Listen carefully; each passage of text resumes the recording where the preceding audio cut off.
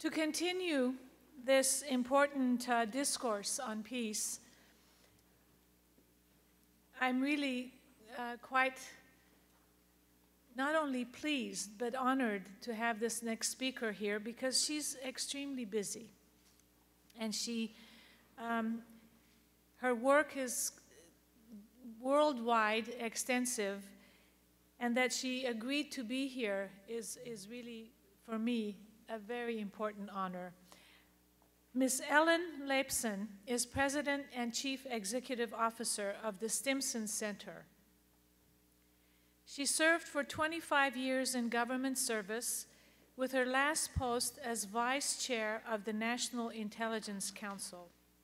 She also served on the State Department's policy planning staff, the National Security Council, and the Congressional Research Service. She was a member of President Obama's Intelligence Advisory Board and on the Secretary of State's Foreign Affairs Policy Board. She is a member of the Council on Foreign Relations and serves on the advisory councils of the International Institute of Strategic Studies, the Chicago Council on Global Affairs, the, Gov the Georgetown University's Institute for the study of diplomacy. She served on the board of the Asian Foundation. It is my great pleasure to welcome Ms. Laipson.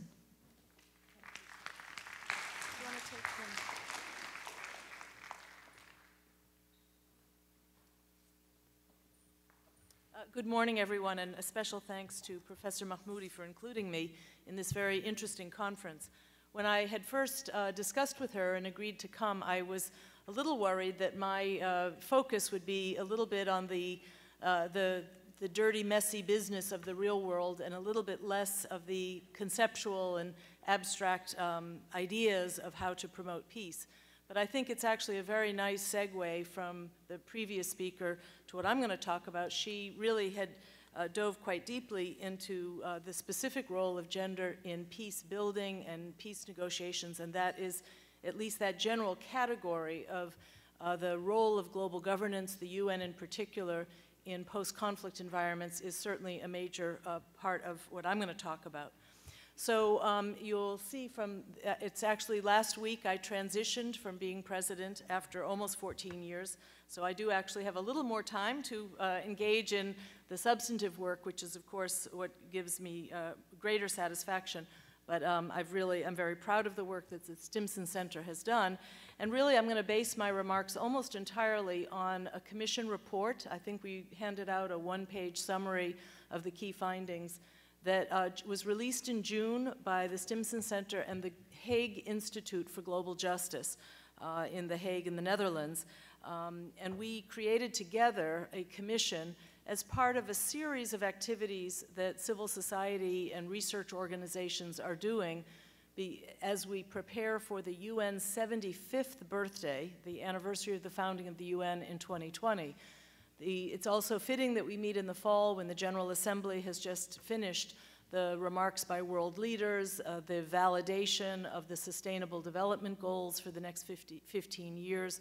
So there's a lot of attention right now on global governance for all its strengths and weaknesses, and I think you will find that I am, I, I try to be a, a, glass half full person when we look at the UN. Um, there's always, we can dwell on the shortcomings and the criticisms, and it's important that we be uh, transparent and set high standards.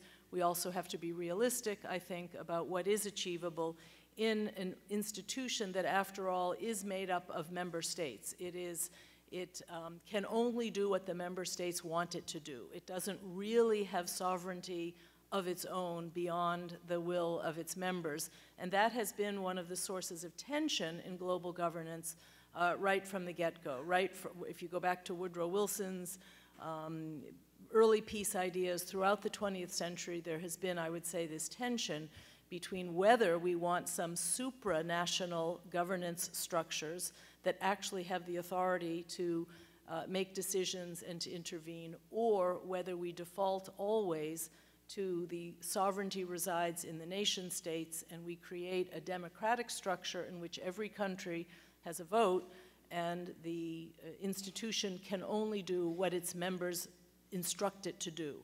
So in this whole question of peace building um, and post-conflict, the UN, you know, doesn't have its own army. Uh, it relies completely on the will and the capabilities that member states contribute to it. And so I think that's a theme that we'll, we'll come back to again and again. But what I appreciated about this, our commission, was that we were trying to pull together, Stimson generally works on problems of international security. The Hague Institute, The Hague is, after all, a global city committed to justice. It is where the uh, International Criminal Court resides. The, uh, in the 1910s and 20s, it was where the original Court of Arbitration, which still exists, was based. So The Hague and the Netherlands in general have been a kind of global hub for thinking about uh, and, and acting on uh, global justice. There's a peace palace that, interestingly, was built by Andrew Carnegie's funding. Uh, right on the cusp of World War I, he built the Peace Palace, uh, where these courts that would try to adjudicate problems uh, between states uh, was established, and now there's, it's also where the tribunals for the Balkan Wars and um, at least some of the, the newer tribunals for the African Wars uh, is, are located. So The Hague has its particular focus on justice, and we decided to try to look at where are the gaps, because security and justice are two universal, enduring, absolutely vital functions of global governance, if you will.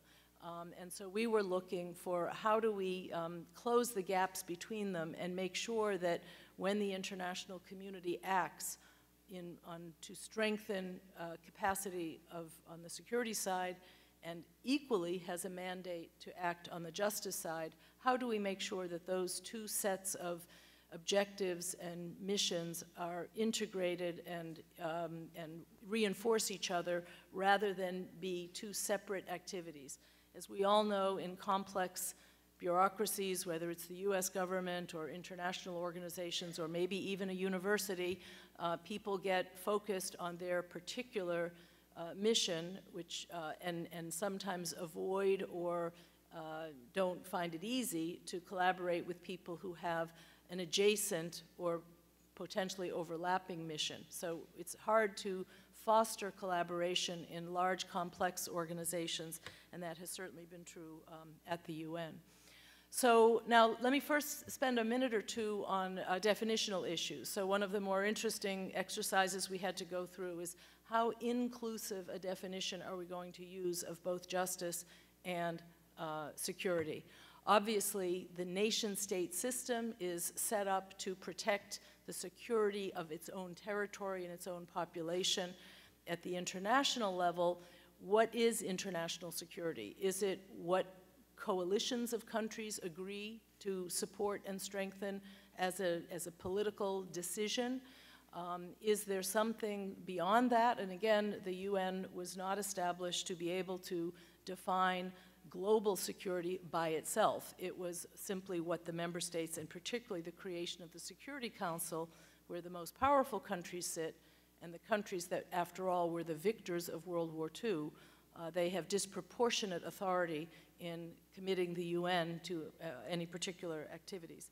So the security of the nation state, we were very much drawn to the concept of human security, the full, the full spectrum, uh, where we now understand that security has to be thought of as a more porous and agile uh, idea that goes everywhere from the rights of the individual to feel safe and secure uh, then the who's who is responsible for providing human security? Um, is it the nation state? Is it the community? Is it the family unit? Um, and is it the international community? So without going all the way to using only human security as our definition, we were looking for something that was uh, broader and more inclusive than nat traditional national security um, because we thought that was no longer uh, the appropriate frame to think about the security of citizens and societies in today's, uh, in today's world. Similarly, on the justice side, um, you know, justice is a function of political entities, of organizing, governing structures. uh, whether in federal system, sometimes the police, as we know in the American system, you can have uh, institutions that are responsible for law enforcement that don't belong to the highest level of the nation state. They belong to, they report to a governor, or they may be a, a police service or a, a justice system that can belong at the subnational level. At one level, justice can mean just fairness and equity, um, but it can also be channeled in these much more formal uh, directions. And I think the emergence of more international courts when a nation state has failed to exercise the, and, and protect the justice interests of its citizens on, in these extremely rare cases, uh, can uh, an authority above the nation state come in and uh, provide a, an, an, adjudication process or a system of justice that the nation state itself has failed to do. This is certainly the thinking behind the responsibility to protect um, new doctrine that is imperfectly being implemented around the world. So I, again, um, you know, at the one end of the spectrum, uh, complete, you know, equity of, of rights and access to justice would be the, the maximum goal, but we were also looking at strengthening more formal institutions of justice, particularly in weak and fragile states that are unable to do it themselves. You know, so where is that demand for global justice, for a global support system or intervention uh, that is because of an, in, an, inability of a political unit, whether the nation state most likely, uh, to provide those, those, institutions of justice. So we um, look, tried to think of, of categories where we could look at this intersection between security and justice. But first, let me give you a little bit more of the framing of the study. So, on the one hand, we start as believers, supporters, advocates for strong global institutions, that we think institutions matter. We don't think institutions are sufficient, uh, that a lot of the, the things we're talking about are in some 21st century space where institutions also have to learn to be more agile in engaging with actors, civil society, the private sector, et cetera.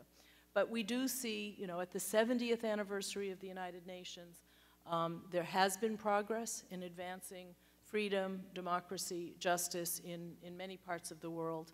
There is, I think, the UN, and I hope people would, would share the view that the data suggests some absolute reduction in uh, poverty that has to do with the rise of India and the rise of China, that people have come out of poverty into lower middle class, middle class, and the numbers are staggering when you look at the, Asia, the changes in Asia. But there is, of course, still horrific poverty. The country of India has the largest, uh, contributes, has the largest number of poor people in the world. It, it uh, represents a significant percentage of the poorest of the poor in the world.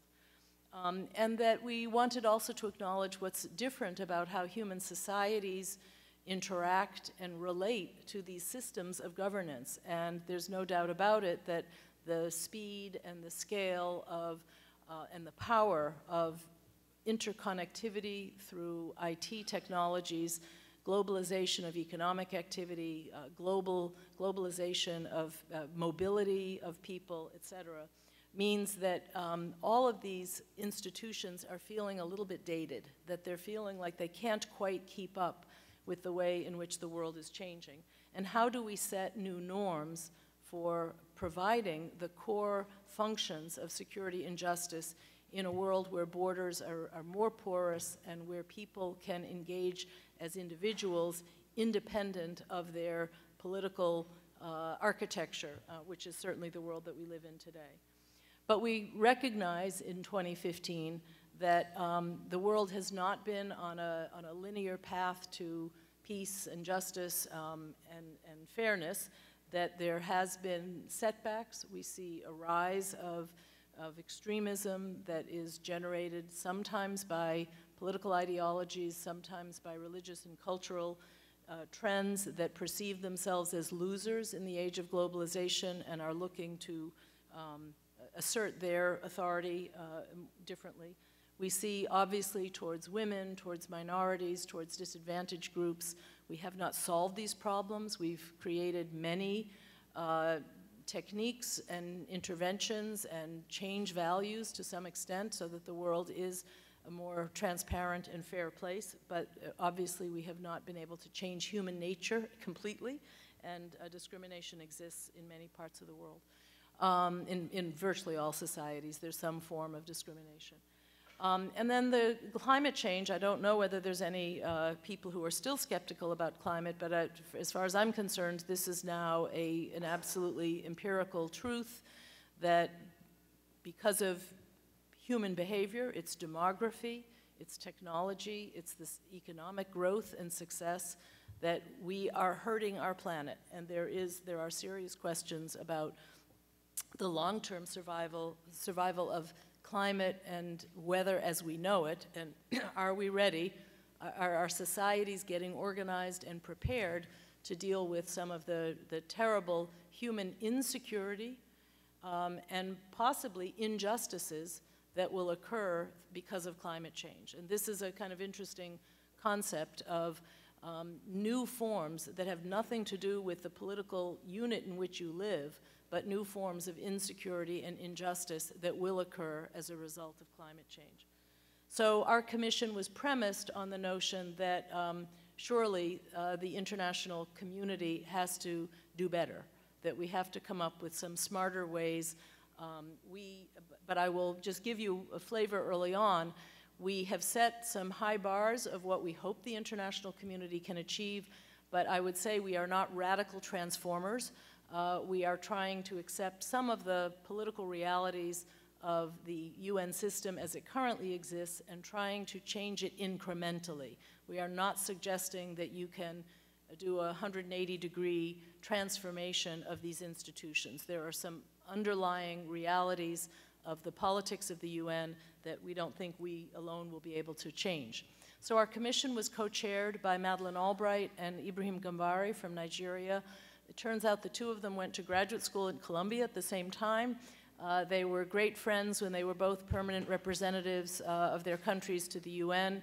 Gambari went on to be the Undersecretary of the UN for Political Affairs. He was Foreign Minister of Nigeria. He also was a peace, the peace negotiator for Darfur. So he has very broad experience in different parts of the UN system, uh, and he's a very um, warm and uh, wonderful human being who really added a huge, a, a, very important human dimension to our work.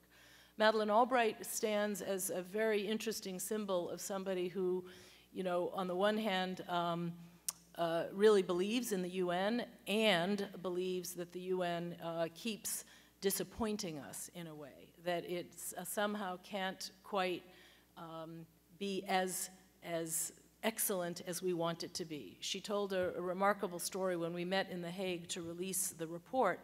Uh, she had just brought her children and grandchildren to um, um, the Czech Republic, where they visited her family, the, where she had grown up, and the houses of her grandparents, and they did this kind of uh, family tour. And she talked about how the Red Cross the early years before World War II broke out in full, in, in full measure, the Red Cross, one of the global institutions, visited a concentration camp and gave it a seal of approval because they were shown that people were fed adequately, that, they were, that they were doing labor, but they were given shelter and they were given food. And she said, this is unacceptable, that the international community, when it engages with nation states, can be hoodwinked into pretending that things are not as bad as we know they are. So she sets a bar of, you know, uh, I have every expectation that we can do better, that we can build a better international system. So she comes with a, a very strong moral imperative about how to improve um, uh, these institutions of global governance. So we put together sort of your ideal group of people representing very different constituencies. Uh, you'll see on the piece of paper, if you have it, uh, who the commissioners were. They were from uh, Brazil and Indonesia and India and China, and uh, we had the PERM 5, but we also had many of the key players from the developing world, the global south. Um, but this, in a way, is the most important. See if it's all coming on.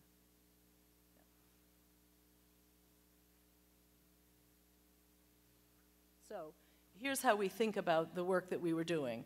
That we see that governance is a larger concept than government because there are other actors and processes that come into play.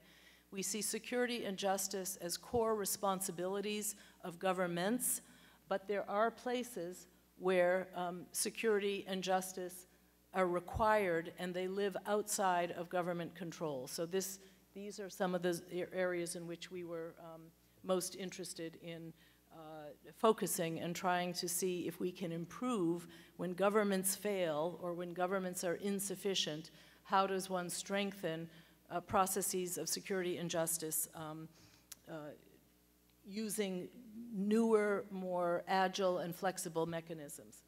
So again, as uh, very similar to uh, Professor Goetz's uh, work on women in peace building and post-conflict, I think where the connection between security and justice is um, indisputably strong is in these fragile states um, and countries coming out of violent conflict. This is a core function of the UN system. It's what the Security Council spends most of its time on is setting mandates for peacekeeping. Today's world, as you may know, 100,000 peacekeepers uh, in uniform with blue helmets, 20,000 civilians in those operations as well, and the UN system supports another 20,000 helmeted uh, soldiers under the African Union so that there's a cooperation between a regional organization and the UN in staffing the peace operations in the African zones, South Sudan, Democratic Republic of Congo, and uh, recently the Central Af uh, African Re uh, Republic, the CAR. And I'll say a word about that later. But we wanted to go farther, and we looked at climate and the, the hyper-connected world economy as two arenas in which you might not see so clearly what's the security piece of that, what's the justice piece of that.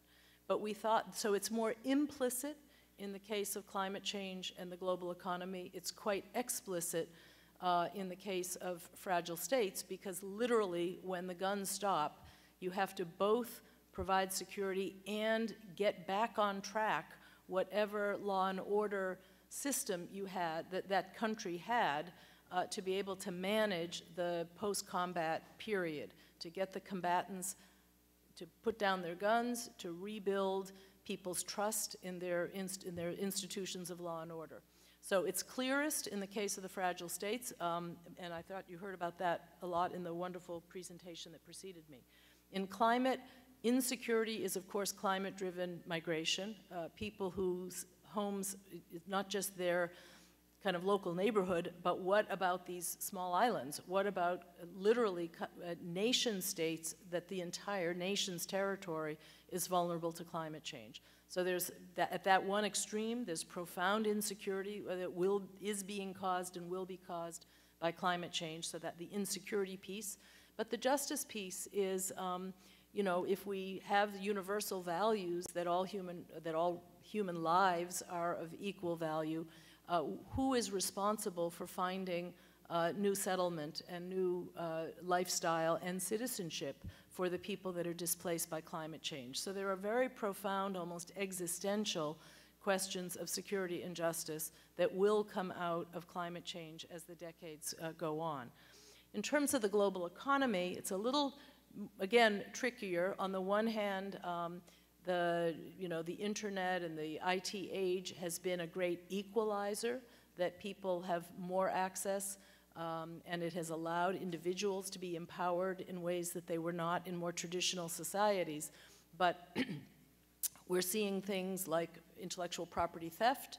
Um, we're seeing, you know, states are vulnerable in uh, in the information age, um, and as we see this nonstop conversation about uh, privacy, protecting data, et cetera, that is a form of insecurity.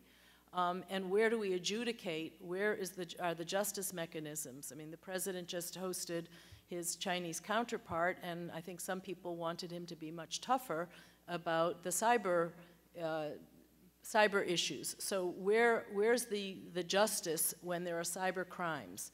So all of the, these issues may seem a little less direct than in the case of fragile states, but we really wanted to explore, is the UN system up to the challenge? Do we have the mechanisms in place to deal with the security and justice dimensions of both climate change and the global economy? Um, so just briefly, a little bit of background that we're providing. Obviously, the migration numbers are going up uh, even farther. Um, the, the, the, human migration story is, is a stunning one in the 21st century. Many countries now have the largest population of not locally born that has ever been recorded. So the United States was always an immigrant society, always a culturally diverse place. Countries that never had uh, immigrants are now all discovering, I mean, when you think of the Nordic countries with now 10, 15 percent um, populations from the Muslim world.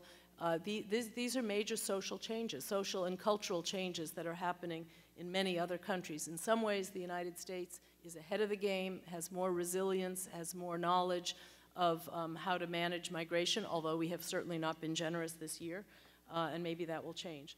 Um, but in terms of the capacity of the international system, as I, I gave you the quick stats, 100,000 peacekeepers, um, but that the spending on peacekeeping is less than half of a percent of world expenditures on, um, on defense. So there's an imbalance here between uh, on the priorities and the resources that are being dedicated to trying to get some of these countries back on their feet.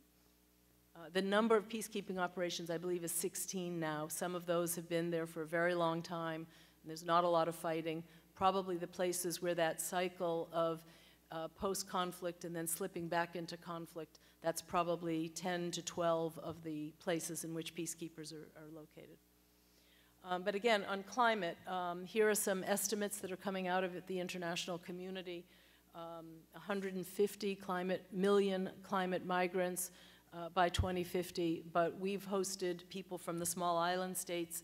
Literally within this century, we will see some, you know, sovereign territories disappear. There's already negotiations. Uh, I don't know if you know, the, uh, the Maldives has held a cabinet meeting underwater where they all, um, they somehow, uh, you know, uh, to show what it was going to be like when their uh, country was underwater, and they're beginning negotiations with India about already a very crowded country, um, about the relocation of some of their population.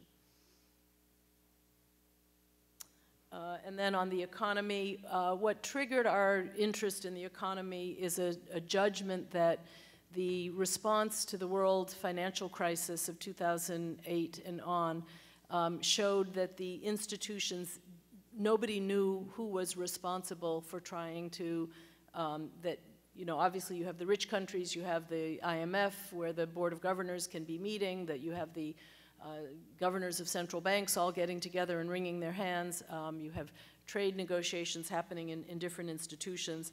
The sort of aspirational goal here was whether the international community could do a better job at warning and preventing a future economic crisis, um, but also building more resilience into the system. Is there more that can be done? Is there more are there, are there quicker ways that countries that go into economic crisis because of something that was cross-border, something that came from the external environment, uh, is there, can we build some more resilience into the system? Uh, and then one of the sort of easy, low-hanging fruit, I would say, was just furthering the progress of internet access as a great equalizer of human rights and of, of human economic potential that building even more access to the internet in countries where it's less available is a major step forward in, in terms of equality and justice in the international system. Um, and then more broadly, we tried to then look top down, okay, how would we change the architecture?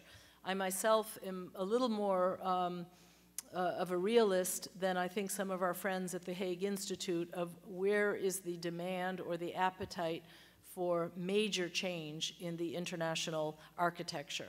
I think that we have to acknowledge that the demands of the emerging countries are, for now, very self-interested. They are not thinking the way President Wilson or the founders of the UN were about what is good for everybody. Instead, they come with a, a, grievance or a resentment that the UN system currently does not give them what they think should be their fair share of decision-making authority, power, influence, et cetera. But they're not necessarily saying, how could we build a better UN that would be fair to everybody? So what we have right now is still we're a little bit stuck in a north-south debate. We're a little bit stuck with the north being resistant to too much change, willing to improve to some degree, um, you know, who gets to be on commissions, who gets the senior jobs at the UN. There's some accommodation there. But the demands of the South are, at, at this point, I would say, not very coherent. Um, it's really each country looking after its own interests. I want more slots in the UN Secretariat. I want uh, to be a permanent member of the Security Council. But I, I don't believe yet that we have, see any north-south consensus on how much change um, will the UN system be able to bear. Um, but we accept that change is needed and that we've got to be pushing ourselves, and this commission is one of the conversations, and we're very inclusive of other conversations, the International Peace Academy, um, other groupings, and we've been visiting each other's conferences and trying to identify where are there areas of, of emerging consensus, at least among experts and civil society members, uh, to propose to the UN by its 75th birthday um, what, what can be done better. Um, so let me just run through some of our recommendations, and then maybe we'll have uh, a, good, a little bit longer to, to talk. Um, one, and this very much relates to the earlier presentation, for sure, the conflict mediation function of the UN is one of its absolutely most important things. If you think that the UN was originally created with a peace and peace and security mission, and that all the other stuff it does have sort of derived from that, but that the fundamental core essence of the UN is to prevent war, to prevent another world war, but also to prevent any interstate conflict. Much fuzzier on what the UN's role is supposed to be about internal conflict um, and, and conflict prevention. But if we accept that the UN really can and should, and it's not too hard, uh, increase its capacity to have successful outcomes in its post-conflict interventions. And I completely agree with Anne-Marie about you know, more women in the senior leadership positions of UN missions, more women police, um, so that in, in countries where gender is a, is a source of segregation, that the that the isolated population can talk to a policeman. I mean, India has already proven that it makes a huge difference to have women uh, in the police force so that when there are crimes against women and they go to the police station, instead of them getting abused yet again, uh, they can be with a woman police officer and the whole process of access to justice is greatly improved. It would make a huge difference. And I, you know, again, I agree that women should be at the peace table, but the UN has to be more um, proactive in recruiting appropriate and, and training women to be in positions of authority at all levels of peace operations, to have a presence on the ground when the UN deploys. There have, it has to be more gender balanced and it will achieve better outcomes because we know that in the civilian protection world, which the Stimson Center works quite a lot on with the UN, um, how to strengthen the training and the, the clarity of what a UN peacekeeper is supposed to do when the civilian population is at risk. When you think about it, when the UN usually goes in, they're just talking to the combatants. They're just trying to separate the guys with guns. Meanwhile, the civilian population is very vulnerable for lots of reasons, and we're writing this language about civilian protection. This came out of the genocide prevention um, responsibility to protect debates of the last decade and a half. But civilian protection is the new thing, and um, uh, you need you know, people who can access those vulnerable populations. Thank you. Um, so uh, we're looking for greater role for women in these operations, greater resources, quicker deployments, and this gets to a long-standing problem that countries, uh, in the time that I wor uh, worked for Madeleine Albright at the UN in the mid 90s, and at the time there was this talk of countries pre designating a battalion of its armed forces that would then be mobilized quickly when a new uh, Security Council mandate was issued. Instead of having to go out after the resolution is passed and start put out a call for who can contribute uh, 10,000 troops, you would have predetermined, pre-approved units of militaries around the world that could get to the conflict zone quickly. Um, I would say we have underperformed as an international community in making that real. Uh, there's always reasons, people have other jobs, they're not, you know, so that countries have not really been able to commit that they will pay the salary of someone waiting for them to be deployed. So the person does have another job, but they are in a unit that in theory is designated as a forward deployable unit. So anyway, there's a lot of tactical things like that that the UN has to do. Um, we also wanted to revalidate or strengthen the R2P concept, um, which, as you know, there was a lot of pushback. Um, poor, small, developing countries that are struggling with conflict um, really resent the notion that the international community will decide, give them a grade. You know, you haven't been competent at protecting your own civilians, so we're going to do it for you. That's a very controversial idea. It was Canada and the Nordics and the United States that thought this was a grand idea, and guess what? The receiving countries um, have been uh, quite resistant, and it's been hard to implement. Um, and then on the justice question, um, we think that, again, big bureaucracies don't forget to talk to each other. There has to be more of a bridge between the Security Council and the International Criminal Court. There has to be a better flow of information and understanding. On climate, one of our big judgments is that, you know, the national delegations that go to these mind-numbing conferences on climate change are not the only actors.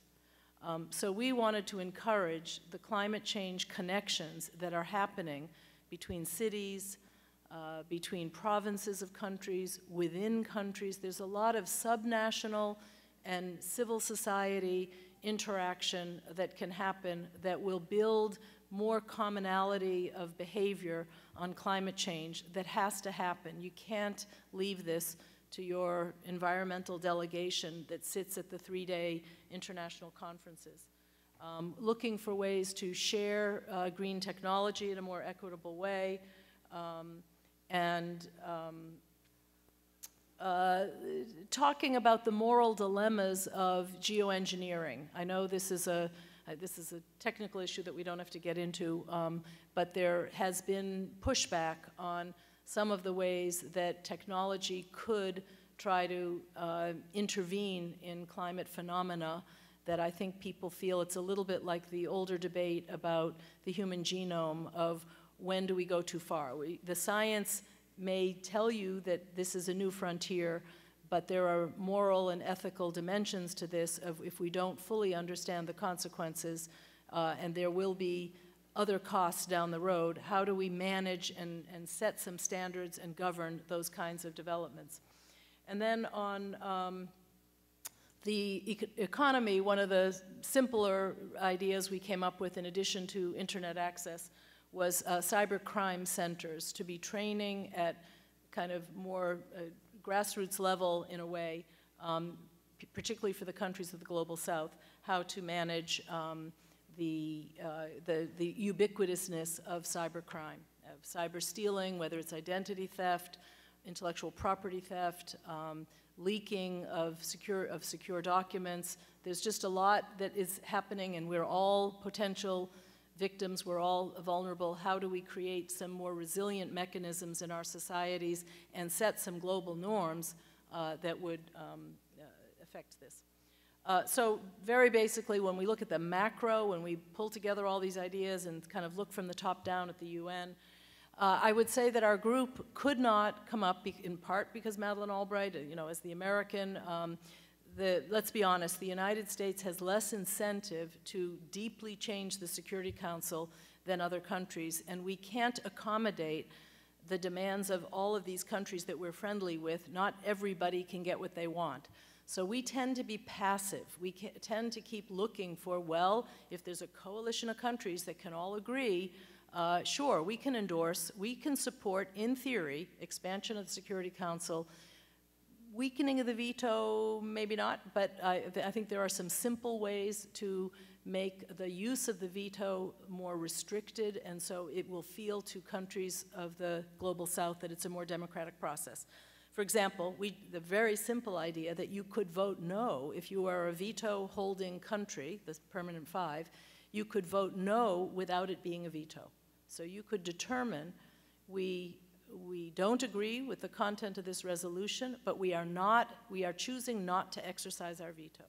That would be a huge improvement on Palestine resolutions. There's a whole bunch of stuff that, um, uh, and there was also earlier talk of on genocide questions that the veto could not be used, that, that the, a country that might have be a, an interested party would not be able to veto a resolution that was uh, addressing a, a crime, a, you know, a, humanitarian crime. uh, so we couldn't agree. Um, our commissioners from Brazil, from India, um, you know, argue very passionately for a, a very specific uh, accommodation, but they wanted their own country to be named, okay? So again, I would say that one of the things that still needs to be done is for the Global South to have a conversation among themselves and come up with a more shared uh, proposal that the countries of the UN could consider. Instead, it seems to fragment into everybody's looking out for themselves. Um, you know, there is a peace building commission, and we felt strongly, in fact, we met in the trusteeship council of the United Nations building. We think the trusteeship council should be converted into the peace building council, and this would strengthen, give more authority, more resources to the peace building activities that we've heard about today. And lastly, we really do promote um, greater interaction uh, among civil society, business, and the formal processes of the UN.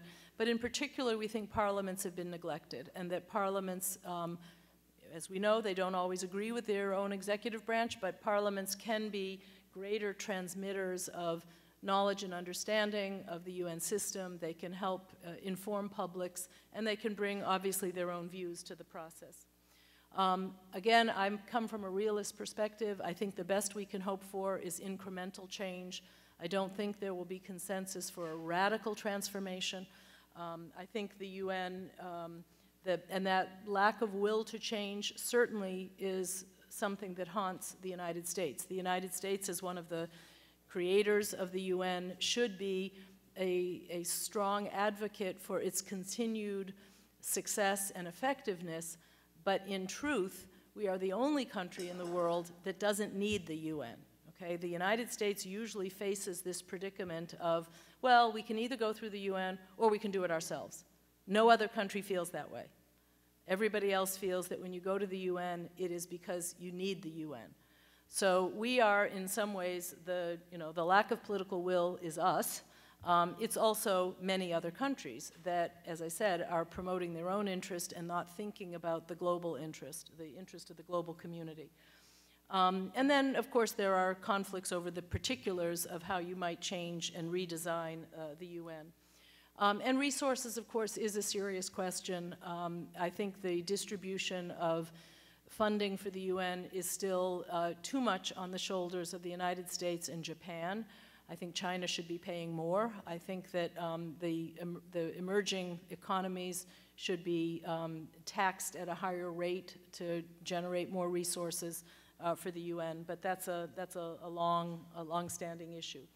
So I think I'll, I'll just wrap up there. I, I want us to, you know, I, again, we, we want to be aspirational, we want to set a high bar, but we also want to uh, be able to measure change in real time. We want to say that within the next five years, some improvements can be made in how the UN manages um, its very important role. I think that if we think about migration, the migration crisis, and here I, I, should have said this much sooner, the specialized agencies of the United Nations, the ones that are not necessarily based in New York, really do some of the UN's greatest work. Uh, the International Migration Organization, the High Commissioner for Refugees, the High Commissioner for Human Rights, UNICEF, um, some of these organizations do remarkable work, um, and I think while they're, you know, if you just take the Syrian crisis alone, what a tragedy that they have been feeding millions of displaced people, and without resources, they are reducing the food basket, and some Syrians are being told, you have nothing. That is completely the international community doing right and then not doing enough.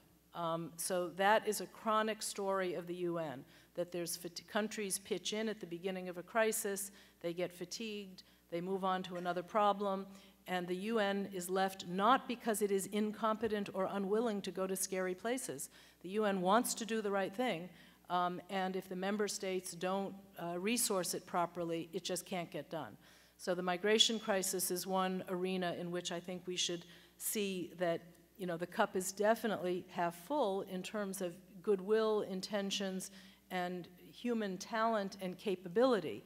It, that those are services that can be provided, um, but back to the nation states to, uh, to provide the means uh, to do it. Um, so I, um, uh, again, let me end there, and uh, I really await your questions, and I'm sure some of you have your own UN experiences and maybe some good suggestions for how to reform it. Thanks.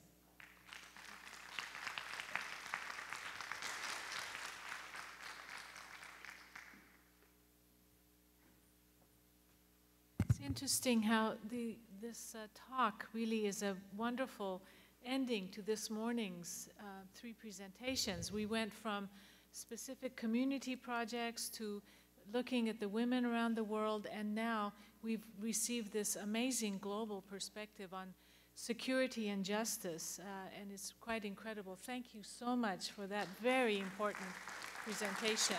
Please come up to the microphones if you have questions to ask. This is the time.